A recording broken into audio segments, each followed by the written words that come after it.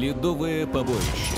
Битва, в которой Русь навсегда положила конец претензиям западных крестоносцев на свои земли и защитила православную веру. Но верно ли все это? Правда ли, что это сражение было всего лишь приграничной стычкой?